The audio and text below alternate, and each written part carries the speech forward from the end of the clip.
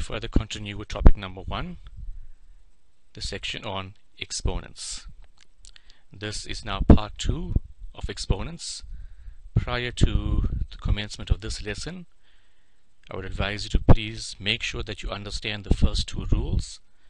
That is the index rule for multiplication and the index rule for division prior to commencement of this section. Once you have mastered the first two, the rest becomes an easy topic. We are now going to go over the next part which is the index law for powers. As the name suggests, you need to consider powers.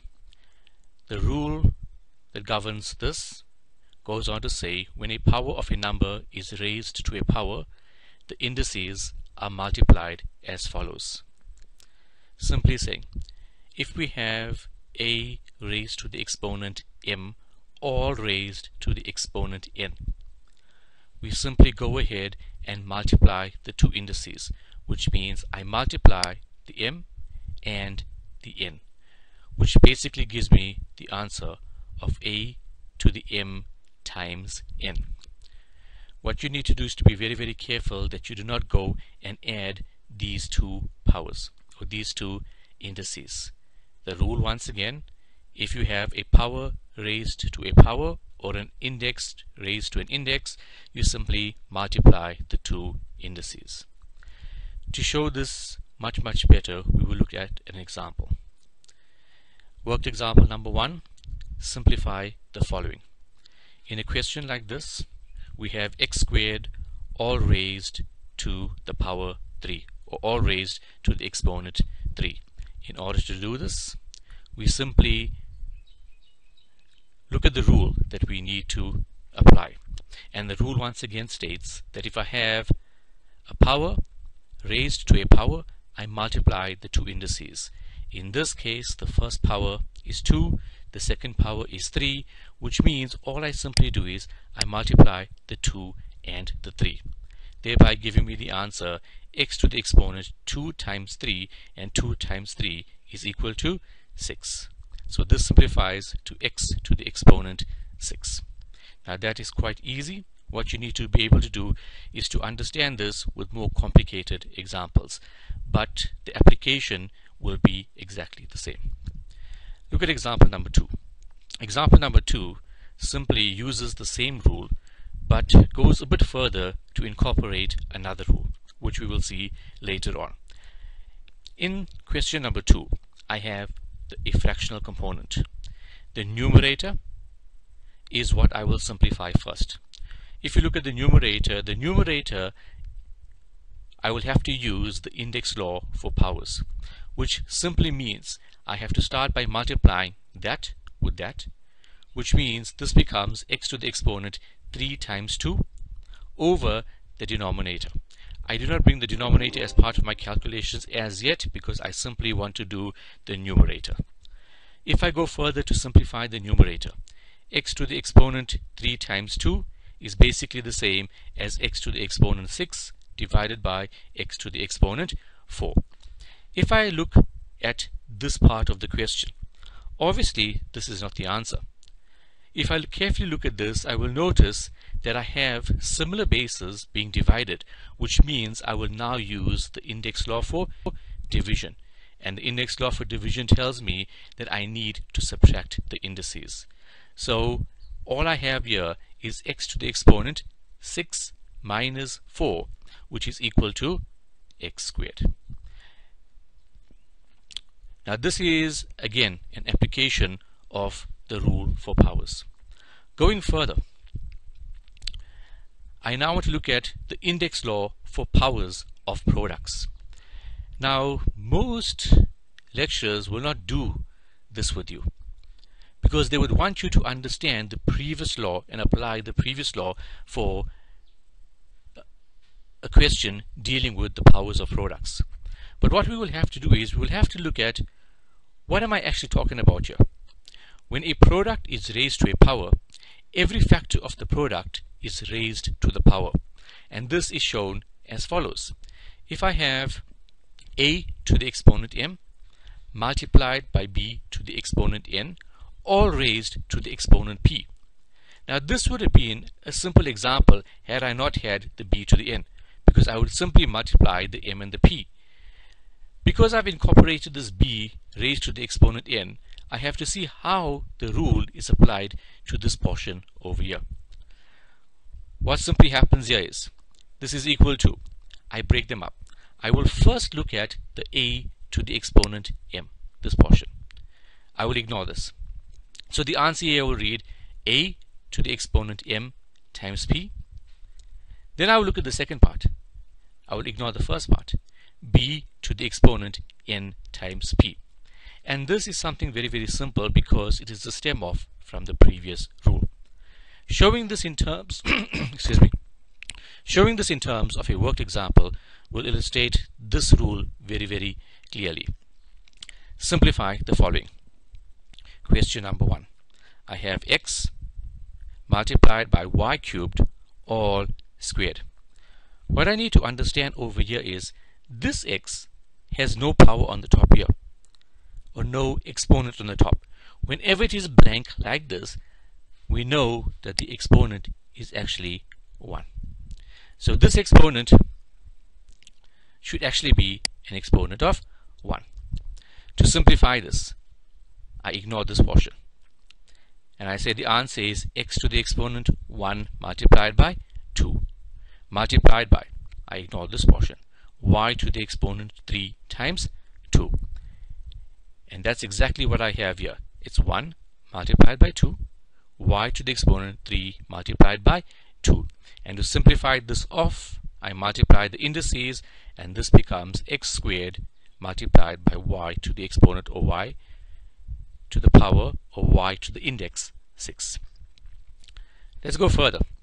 In example number 2, I took it a little bit further. I incorporated multiple rules.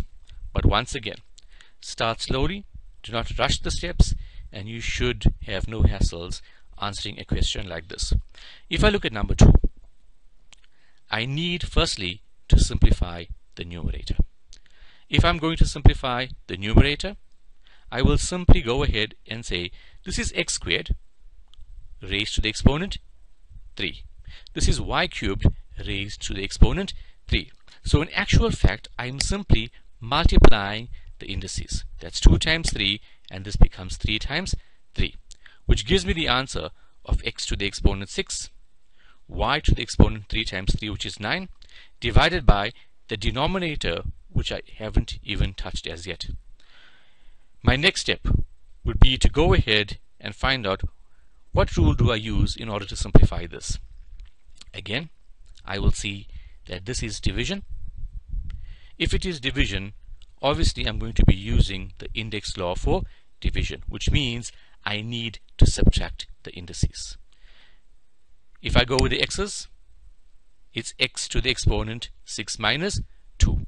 If I go with the y's, it's y to the exponent 9 minus 3. And this is equal to x to the exponent 4, y to the exponent 9 minus 3, which is equal to 6. Now, as of yet, this is still not an examination type question. This is far too easy. As we progress, we will see that we'll be slowly coming up to an example that could be tested in the examinations. Let's go a bit further. Now we're going to come across the index law for powers of quotients. Immediately the word quotient. A quotient is the answer to a division problem, which means I am now dealing with powers or exponents being divided. When a quotient is raised to a power, both the numerator and the denominator are raised to the power as follows. If I have a to the exponent m divided by b to the exponent n, all raised to the exponent p. This will remind you of the previous rule we had multiplication except now I have division. All I do in this case is I multiply the m times the p and I multiply the n times the p And the answer here is a to the exponent m times p divided by b to the exponent n times p. Now this is something quite easy. I'm sure that if you look at this rule, you'll be able to apply the rule the moment that you see division raised by an exponent. Let's look at an example. A very very simple example will be x squared divided by y cubed all cubed. If we are asked to simplify this expression, all we will do is we will look at the indices. As I mentioned previously, the law tells me that I have to multiply the indices. In this case, I'm going to multiply out. It becomes x to the exponent 2 times 3, y to the exponent 3 times 3. And this simply becomes x to the exponent 6 divided by y to the exponent 9. Once again, I simply went ahead and used this rule. And by the way, I'm not expecting you to memorize this rule. If you go ahead and use this rule a few times, it becomes something that will come naturally to you. Question number two. In question number two, I see in the numerator I have variables that are multiplied and I have a single variable in my denominator all raised to the exponent 4. Once again, do not let the length of this question confuse you. All you have to do is simply apply the above mentioned rule. And in a case like this, your answer will read x to the exponent. Yes, all you do is multiply the powers. Multiply that power. Multiply those indices. So I end up with x to the exponent 2 multiplied by 4, y to the exponent 2 multiplied by 4, z to the exponent 3 multiplied by 4. So this 4 is going to be multiplied by each and every indice that you see within the brackets. And obviously with this your answer becomes x to the exponent 8, y to the exponent 8, divided by z to the exponent 12. And that is the final answer. We cannot simplify any further than that. I hope you are understanding this. We will go to an activity, activity number one. And as previously mentioned, the rules governing the activities, you will first try them out and then look at the answers to see where you have made possible errors.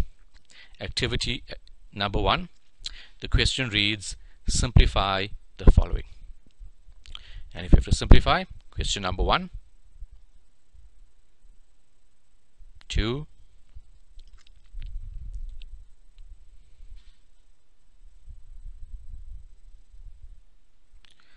For this activity, we are only going to be dealing with five examples.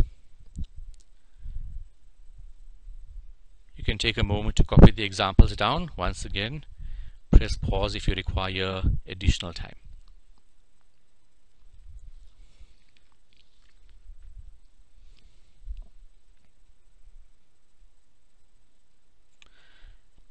Okay, let's look at the answers. Activity number one, answers. Question 1.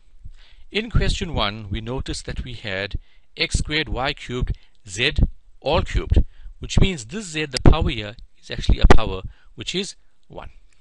If I'm dealing with a question like this, I'm simply going to go ahead and multiply the indices. So it's going to read as 2 times 3, 3 times 3, and 1 times 3. And do it step by step, guys. It's going to be x to the 2 times 3, which is 6, y to the 3 times 3 which is 9 z to the 1 times 3 which is 3 perfect. Let's go now to example number 2 example number 2 incorporates multiple rules again. Once again do not try to do too many steps at one go. You are bound to confuse yourself and get the answer wrong so I would recommend that you do this portion first if I deal with the first portion, I will see the answer as being x to the exponent 2 times 3 which is 6, y to the exponent 2 times 3 which is 6. I ultimately got this portion here. Multiplied by x cubed y to the exponent 1. From here I can see that I'm dealing with the product rule. According to my product rule, I need to group the x's together. I need to group the y's together. And the answer here becomes x to the exponent, not 6 times 3, but it's going to be 6 plus 3. Why? Because the rule that governs multiplication tells me that I need to add the indices. So your answer is 6 plus 3, which is 9, y to the exponent 6 plus 1, which is 7. Question number 3. Question number 3 again deals with multiple rules. This here is y to the exponent 1. You don't need to keep putting it in every time that you see it, but please understand that it is y to the exponent 1. Simplifying the numerator, your answer should be x to the exponent 2 times 3, which is 6, y cubed, over x to the exponent 1, y to the exponent 1. And once again, use the rule for division. Your final answer, x to the exponent 5, y squared. Two more to go. Question number four is something that could be asked in the examinations. If you look at question number four, there are multiple steps in this type of question. Once again, guys, please ensure that you do a single rule at a time. If I look at the first portion here, that's what I can solve first. If I look at this portion, I can get the answer there. So obviously I'm going to be working with the numerator first. I end up with x 2 times 2 which is 4 y to the 2 times 2 which is y to the exponent 4. This becomes x cubed y cubed divided by the denominator which I haven't done anything with as yet. Simplifying the num numerator further. X to the 4 plus 3 is 7 y to the 4 plus 3 which is 7 and ultimately when you come to a stage like this you can see that the numerator is exactly the same as the denominator. So that cancels off with that which means my answer is 1 now some of you might be thinking of a rule that you learned in school you are correct in doing so but as of yet we have not come to that rule so we are simply going to cancel off I'll give you a moment to look into this example, ensure that you understand it. We are now going to the last example, which is example number 5. Example number 5, once again, let's start by simplifying each part of this expression. This portion can be simplified. This portion must be simplified on its own. Simplify that portion and simplify that portion which means I have to go ahead and simplify each part of this expression 3 times 2 is 6 3 times 2 is 6 x to the 2 times 3 which is x to the 6 y to the 1 times 3 which is y cubed likewise my denominator is x squared y squared x to the 2 times 3 which is 6 y to the 2 times 3 which is 6 at this stage ensure that you go ahead and multiply this portion off first, then multiply that portion. x to the 6 plus 6 is 12. y to the 6 plus 3 is 9. And once again, I'm going to stress, please do not confuse your rules. If this is multiplication, I'm going to add the indices. And that is why it is 6 plus 6 and not 6 times 6. At this stage, you simply work downwards, the rule for division, x to the exponent 12 minus 8, y to the exponent 9 minus 8. And you end up with x to the 4 multiplied by y. Again, a moment to ponder over this example. Wonderful goal. Now comes the next rule. Again, ensure that you understand each one of the previous rules before going over to the next rule. This rule is quite an easy rule. It is called the zero index. Before we go on to the zero index, I want you to consider the following.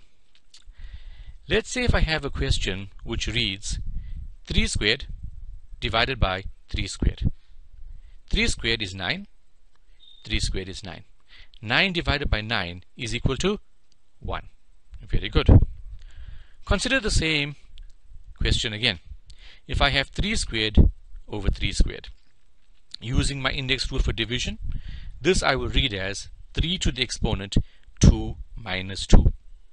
And 2 minus 2 is equal to 0. So the same question can give me an answer of 3 to the exponent 0. What does that mean? From equation 1 and equation 2, I can simply say that 3 to the exponent 0 is equal to 1. And that is the rule that I'm using. Anything raised to the exponent 0 is always equal to 1.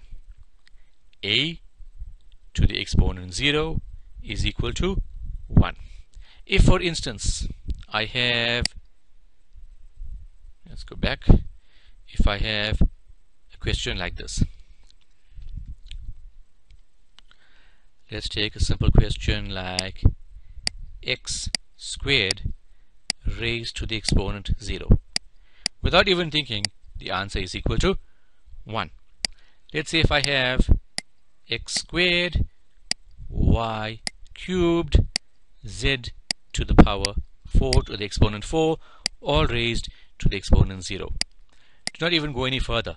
The answer must equal to 1 so anything raised to the exponent 0 the answer is 1 now let's try to look at this rule and how we can apply it. We're going to apply the rule very soon but first let's look at the concept of negative exponents. Now this is something vital. When we deal with exponents all final answers must be with positive exponent. In your examination, the instruction will read, convert your final answer to positive exponent or all final answers must be in terms of positive exponents. Sometimes they will speak of surd form.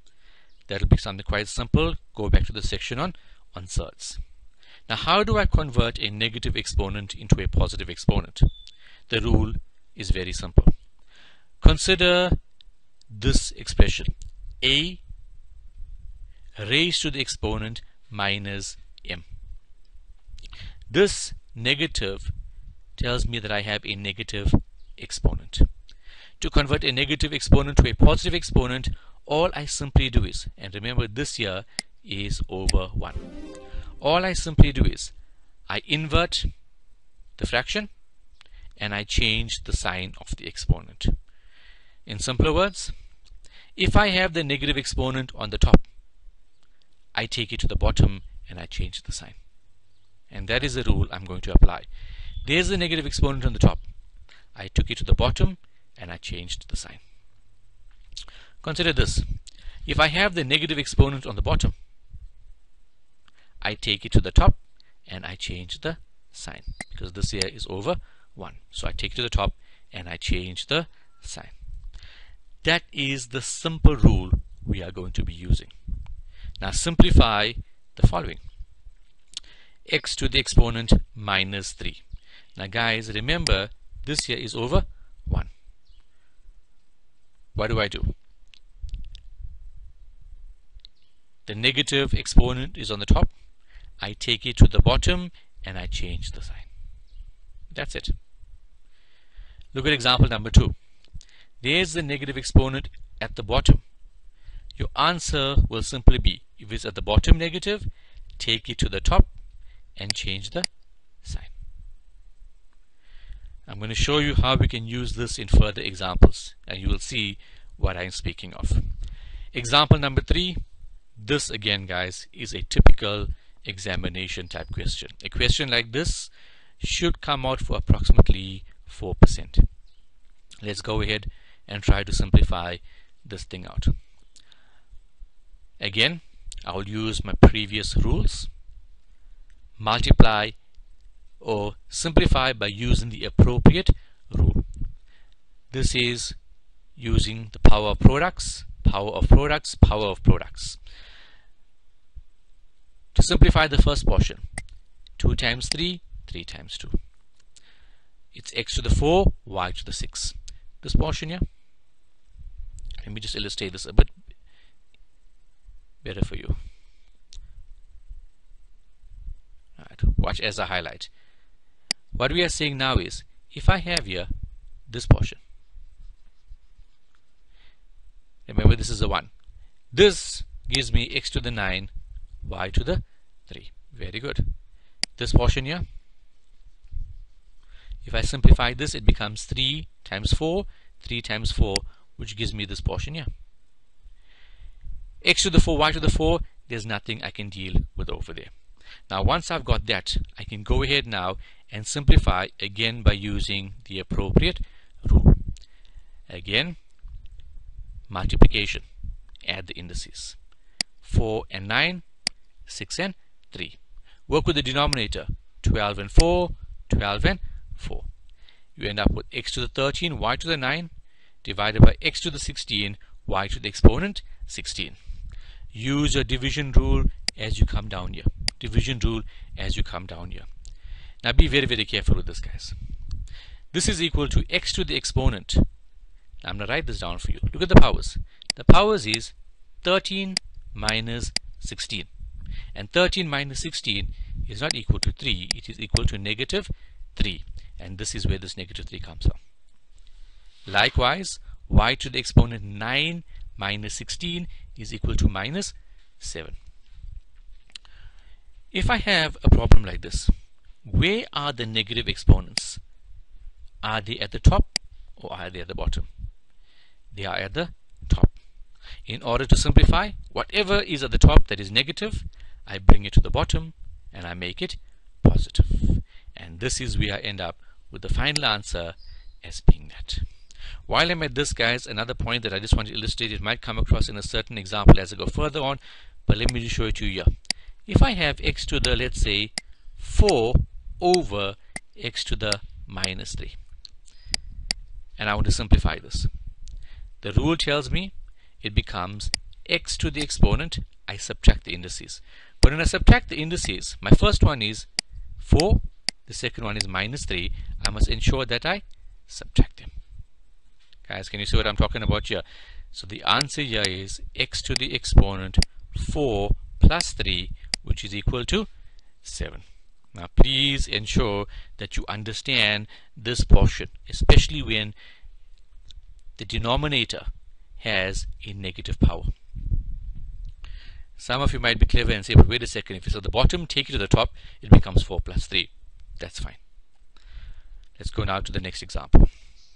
Example number 4. In this example, example number 4. In this example, we go on to say simplify the numerator. Again guys, I'm not going to spend too much time with the simple rule. You can do that. Look at this portion. That becomes easy. What about this one? raised to the exponent 0. If it's raised to the exponent 0, the answer is 1. Even though this is a negative exponent, I do not expect you now to go ahead and try to convert the negative to a positive immediately. Remember the rule. The final answer needs to be with positive exponent, which means you can work with the negative, but at the final stage, convert the negative into a positive. Nonetheless, the answer here becomes x to the 2 times 2, y to the 2. This becomes 1. I won't reflect it in my next step. Here, it's x to the exponent 3 multiplied by minus 2, which is minus 6, y to the exponent 4 times minus 2, which is negative 8, over x to the exponent 1, y to the exponent minus 7. Simplify the numerator. If I'm going to simplify the numerator for those of you struggling to see what's going on, it's simply this. If I have to rewrite it, it's x to the 4, x to the minus 6, y squared, y to the minus 8. Now look at this guys. Do this portion first and then do that portion. Remember, I am adding. So it becomes 4 plus minus 6 2 plus minus 8 and the answer is x to the minus 2 y to the exponent 2 minus 8 is minus 6 over the denominator simplifying further guys if I go down it's x to the exponent. Minus 2 minus the power at the bottom which is 1 and that's where I get that from. Y to the exponent. Watch this guys. It's minus 6 minus whatever is at the bottom. And what is at the bottom? It's minus 7 and minus 6 minus minus 7 is the same as minus 6 plus 7 which is y to the exponent 1 and that is your final answer for question number 4 again a moment to look at this example.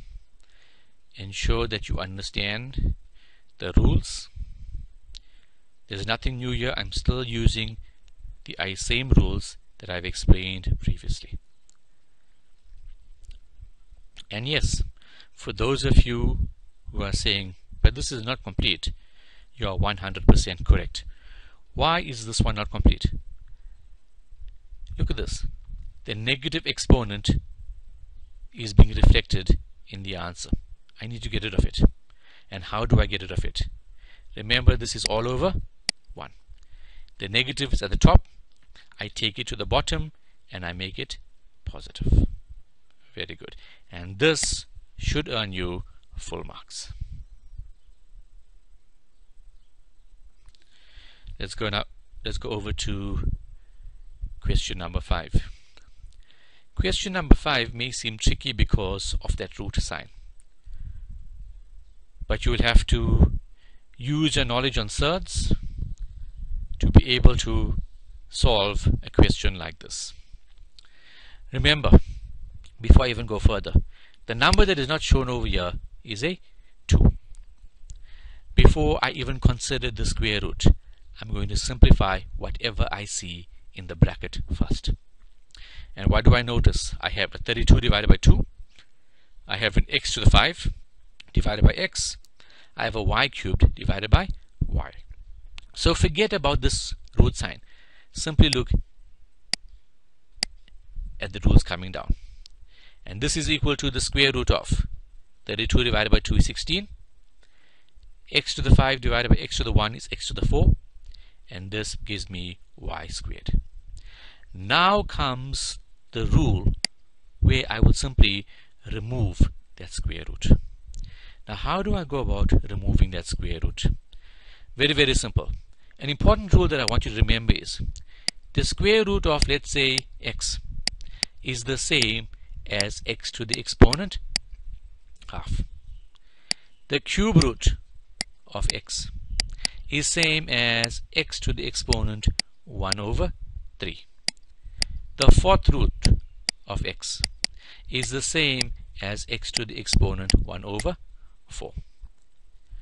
So in this case, the square root of 16x to the 4y squared is exactly the same as 16, which I can write as 4 squared, x to the 4y squared, all raised to the exponent half. So ultimately I am telling you, I don't work with square roots. I remove the square root and I convert it into an exponent. And in this case, the exponent is a half. And now the rule becomes easy. I simply go ahead and multiply the indices. So I read the first answer as 4 to the exponent, 2 times half. The next one, x to the exponent, 4 times half.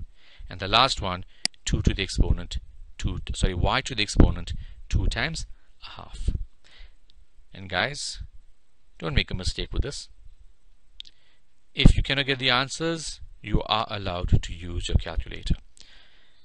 2 times half is 1, so that becomes 4. 4 times half is 2, so that becomes x squared. 2 times half, which is 1, so this becomes y to the exponent 1. And this is your final answer. So questions of this nature could possibly come out. But once again, guys, I want you to ensure that you remember these rules. Now we come across the summative activity. This activity will incorporate all the rules that you've come across. If you are able to understand the questions here, you should have no problems in your examination. Once again guys, the question simplify the following. There's quite a few. I would ask you to please copy them down.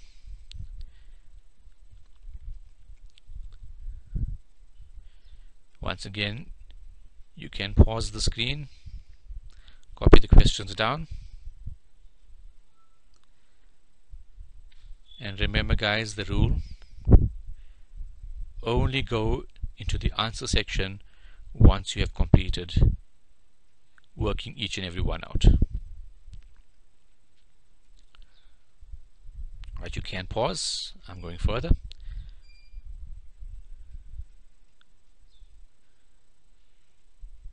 I think there are 16 examples. Yes.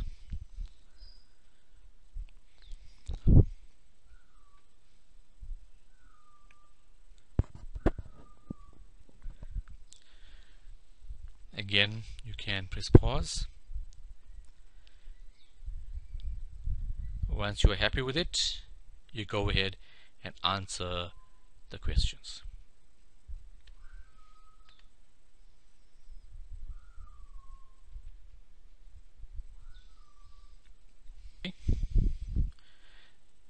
For the answer section, we are going to go a bit faster with this. Question number one. Again, the rule that you're going to apply here will be the division and then the multiplication rule. So, dividing, you have a squared multiplied by a to the exponent 7. If I go across, I add the 2 plus 7, which is equal to 9. Correct. Let's get our pen back. Right, let's go on to number 2. In number 2, again, it is quite easy. But in number 2, please ensure you go across. It's 3 times 2. Then I will do the A's. And lastly, I will do the, the B's. So in this case, 3 times 2 is 6. A to the 6. B to the 2 plus 4, which is 6. Correct. Example number 3. Example number 3 is a bit different from the others because I have a negative exponent here. But nonetheless, let's go ahead with it. 12, there's no other constants anywhere else. Once I finished off with the constants, I look at the x's. There's x, there's x, there's an x. So it becomes 4 minus 7 plus 3 and your y becomes 1 minus 1 which is equal to 0 and that's what I have 12 x to the 4 minus 7 plus 3 is 0 y to the 1 minus 1 is equal to 0 and obviously guys I know that is 1 that is 1 12 times 1 is equal to 12 you should get that one correct. Let's go further. Example number 4 example number 4 remember guys we work with the denominator first. If I work with the denominator first it becomes 2 cubed which is 8 a to the 2 times 3 b to the 2 times 3 and now I go down.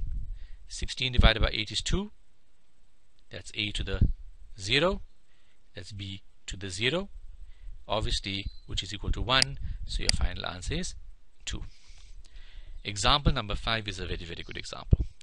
Remember guys there's multiple ways to do this. Some of you might want to get rid of the negative exponent immediately. Some might want to simplify what is in the brackets first. Whichever way be careful. You'll end up with the correct answer what I have done is I've got rid of the negative exponent first. If I get rid of this negative exponent I make it positive but I swap the fraction around. Remember everything is about balance.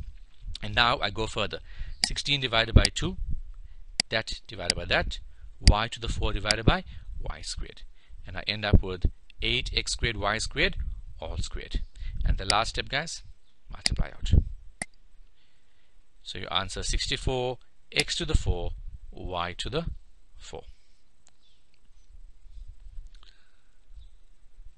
if you are making any errors please ensure that you understand where you made that error.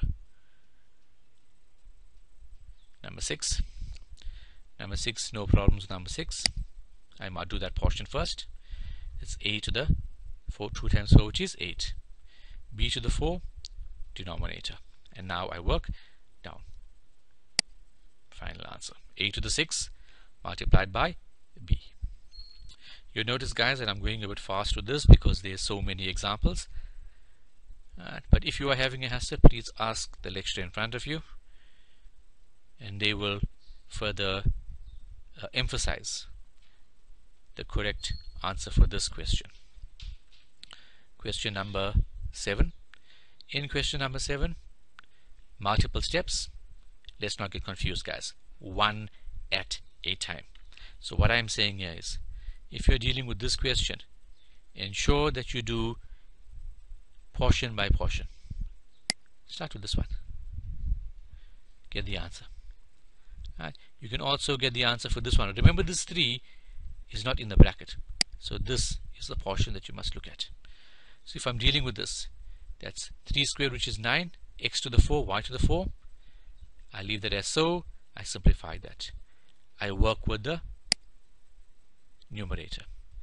Guys always simplify the numerator first here. That's your answer. 27 x to the 8 y squared over this 3x to the 4 y to the 4 and now I do the division. Once you perform the division that is what you are left with. But now comes the problem. Once I come to this step you cannot leave the answer as so the main reason is there's a negative exponent here. But again remember this is all over 1 to convert the negative exponent to a positive exponent I take it to the bottom. So the y to the minus 2 becomes y squared as the denominator. Guys how's it going? Question number 8 question number 8 fairly easy. Let's consider the x's. Prior to that I will do the constants. The constant here is a 1 the constant here is a 1 and then when I finish off with that I will consider the y's. So the answer here is 4 to the exponent 2 plus 1 minus 1 y to the exponent 1 plus 3 plus 1 and your answer 4x squared y to the 5 very good example number 9 I think was misplaced because it is a very very easy example. Go down and get the answer. Perfect. Mark your work guys. Example number 10 as I explained to you before example number 10 typical examination type question. I've done examples like this so you shouldn't have a hassle. To that portion to that portion to that portion. And then apply the multiplication rule for the numerator multiplication rule for the denominator. And once you do this you'll find that you're dealing with the division rule. And the division rule gives you the answer a to the 8 b to the 11 that's fine. Number 11 question number 11 again not a hassle except of this negative 3 but you will still multiply out. Guys ensure that you have this. I'm not going to explain too much but I want you to ensure that that gives you that answer. That this portion here gives you this answer. That this portion here gives you that answer. And obviously this here is equal to 1 I will not incorporate it into my second step. Multiply the numerator out and then use your rule for division. Now I'm going to take a bit longer here. There's a 1 there. 9 divided by 1 is 9 look at my x's. This becomes x to the exponent what? Minus 2 minus minus 4 what happens with our y's guys? Y to the exponent 3 minus 6 it's always that minus that. Most of the guys forget about this. So your answer here is 9 minus 2 plus 4 is 2 and 3 minus 6 is minus 3 but I do not leave the answer as so because of that negative. It's on the top. I take it to the bottom and that becomes the final answer. Right, let's go further. Number 12 Number 12 shouldn't pose a problem to you. 81 can be written as 3 to the exponent 4, x to the 16. This is the fourth root. To convert this into an exponent, it says it becomes raised to the exponent 1 over 4. And I simply multiply out. It's 3 to the exponent 4 times a quarter, 16 or x to the exponent 16 times a quarter, and your final answer 3x to the exponent 4. Number 13. Number 13, simplify this first guys. 27, remember, is 3 cubed. 3 cubed x to the 6. I'll leave that as so. This portion here, the 3 is in the bracket. So I'll read it as 3 squared x squared. That's where I get the answer from. Simplify this portion. That's 3, or even before I go that, you'll notice that cancels off with that to cut a long story short. So your answer is multiply out 3x squared. Guys, I hope it's coming along well. Again, if you are having a hassle, please go to the earlier sections or the earlier parts and revise and go over it again and again and again. In order to use or to simplify example number 14, the bases are the same. Being multiplied, I need to add the indices. Now adding the indices tells me it's 2y plus z plus 3y minus 2z divided by that. This portion here, let me simplify it first. It becomes x to the exponent 2 plus 3 is 5. z minus 2z is minus z over this. This is division. Why do I do a division? Division, I subtract the indices. So if I subtract the indices, it's 5y minus z minus 2y minus 2z. Now, some of you might not be seeing it. What I'm saying is it's x to the exponent. Remember, it's the first portion. 5y minus z minus whatever I see at the bottom, which is 2y plus 2z.